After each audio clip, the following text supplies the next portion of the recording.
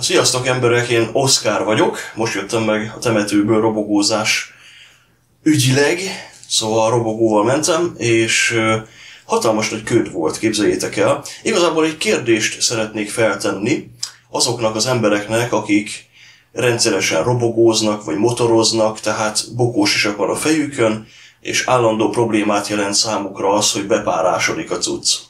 Mert hogy nekem ez komoly probléma, tehát amint már ilyen zimankósabb idő van, embernek meglátszik a lehelete, akkor én nem látok semmit. Ugye hozzá kell tennem, hogy egy nagyon gagyi ö, fejvédő van, tehát sisak van a fejemen, ami csak egy sima műanyag, ugye? Mármint amit így le kell hajtani, tudjátok, minek hívják plexinek? nem vagyok annyira szakértője a témának, na mindegy, szóval egy kis sima gagyi műanyag, és lehajtom, fújok kettőt, tehát lélegzek kettőt, és már nem látok semmit. Ráadásul most olyan köd is volt, ugye hajnalok hajnalán, tehát ilyen 7 órakor mentem, még majdnem sötét volt. Na jó, némi túlzással, tehát nem volt sötét, de mindegy, szóval a lényeg az, hogy köd volt.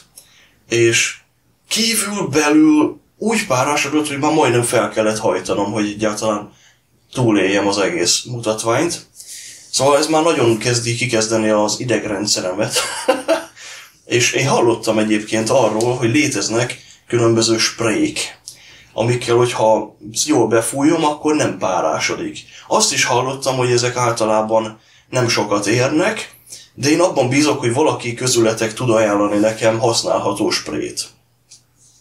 De most ezért nem akarok egy 60-70 ezer forintos sisakot venni, amiben van ilyen beépített szűrőrendszer, szóval, hogy nem párásodik, annyira azért nem fontos nekem a robogózás, hogy most kiadjak ennyi pénzt rá. Hát valami, hogyha ilyen nagyon köd van, nagyon hideg van, akkor így azt hogy szépen elkennem, és akkor legalább annyi, hogy lássak valamit, mert hát most tényleg már halálfélelmem volt, tehát már ilyen húszszal mentem így mindenhol, és nem láttam semmit, tehát így, így, így mentem, hogy szóval, na mindegy, hogy viszont találtam egy régi síkesztyűt, a fiókban, hát mert ugye a sapkámat kerestem, azt nem találtam meg a sapkámat, mert most már ugye eléggé hűvös idők kezdenek jönni. Aztán ilyen átmeneti kabátom nincs, ami van kapucni, csak az a nagy téli kabát, de ahhoz az még túl meleg lett volna most, hogy azt vegyen fel, mert egyébként sétálva akartam megtenni a távolságot, na mindegy, bonyolult. De találtam egy jó síkesztyűt, és ez úgy tűnik, hogy ez tényleg melegen tartja a kezemet. Szóval most ilyen 9 fok volt kint a reggel.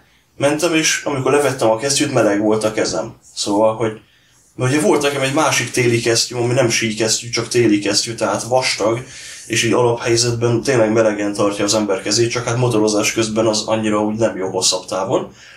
Tehát ott, hogyha mit tudom, egy 20 percig robogózol, akkor majdnem ugyanúgy fázik a kezed, mint hogyha csak egy semmi nem, hát jó, nem annyira, nem, mint hogy semmi nem lenne rajta, mert akkor le is fagyna a kezed. De szóval, hogy hideg, jéghideg a kezem hosszabb táv után. Na ezt még annyira nem teszteltem, de úgy érzem, hogy ez valószínűleg hosszabb távon is védeni fogja a kezemet, plusz vízhatlan, meg minden. Itt hever már vagy 15 éve a szekrényben, nem nagyon használtam soha. Na, úgyhogy ezt szeretném megkérdezni a szakértőktől, hogy ajánljatok olyan sprayt, amivel befújom és kész. Ja, meg akkor még egy kérdést engedjetek meg. Nekem többen mondták azt, robogósok, hogy ugye a láb az szokott fázni. És nekem is szokott fázni a lábam. Tehát régebben, tavaly úgy csináltam, hogy ha téli időszakban két nadrágot vettem fel. Ugye ezt a vastag téli nadrágot, amit most nem láttok, illetve alá egy melegítő nadrágot még pluszban. És még úgy is fáztam. Na most én úgy tudom, azt mondták nekem, hogy sí nadrágot kell venni, mert az sokkal olcsóbb, mint egy profi robogós nadrág. Hát igaz, hogy nem teljesen vízhatlan, tehát csak úgy félig meddig, viszont melegen tart, és tehát én valahogy úgy képzelem ezt el, hogy felveszem a rendes nadrágomat, és akkor erre ráhúzok egy jó, több, több számmal nagyobb sínadrágot, és hát lehet, hogy hülyén néz ki az ember, de mondjuk fekete színűt vennék, tehát annyira nem lenne azért feltűnő, és akkor könnyen kibújni lehet, meg bele, belebújni, érted, és az viszont akkor melegen tartana. Mert hogyha hosszabb útra megyek, hát mondjuk nem szoktam, de szeretek mindenre felkészülni, tehát hosszabb útra megyek, akkor ne fázzon a lábam. Ugye bakancsom az van, tehát ilyen vastag, vízhatlan, szélhatlan bakancs. Nem robogós bakancs, hanem téli bakancs, de az már bevált, tehát abban még soha nem fázott a lábam robogózás közben. Na mindegy, igazából ez a spray érdekelne, hogy létezik-e ilyen, érdemes-e venni ilyet, mennyit ér, vagy hogy, vagy hogyan, hogyan célszerű megoldani ezt. Hallottam olyan technikát is, hogy a levegővételt kell begyakorolni, és próbálgattam is most, hogy teleszívom a levegővel a tüdőmet, és akkor minél tovább bent tartom, mert ugye a menetcél az is egy kicsit leszárítja a párát, és amikor már úgy érzem, hogy ki kell fújnom, akkor gyorsan kifújja, és akkor nincs ideje a párának annyira lecsapódni. És az meg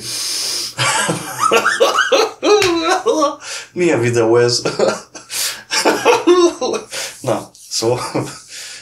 Igen, azért, azért vagyok ilyen jókedvű most, mert a léző gyakorlatot annyit gyakoroltam, hogy majd beszívtam a végére. Tükröződik a fejem? Miért ilyen fehér a fejem? Hm.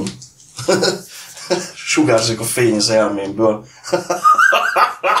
na, na szóval szeretném, hogyha a véleményeteket megosztanátok velem ez ügyben, meg ilyen tippeket télvíz idejére, meg hideg időszakra. Jó? Na köszönöm szépen, iratkozzatok fel, lájkoljátok a videókat, osszátok meg Facebookon, Twitteren, stb. stb.